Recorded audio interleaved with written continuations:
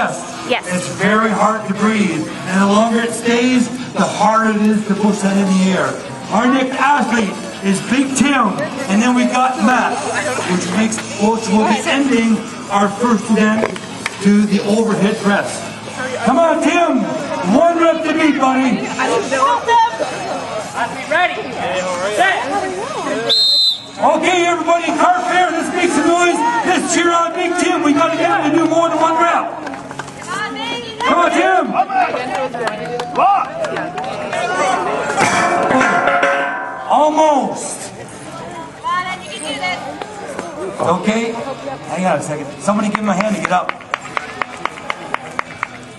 That's when we hold our breath and the log gets up to our chest. Sometimes it makes us see stars in our head. When it gives that reaction when we get a little bit dizzy.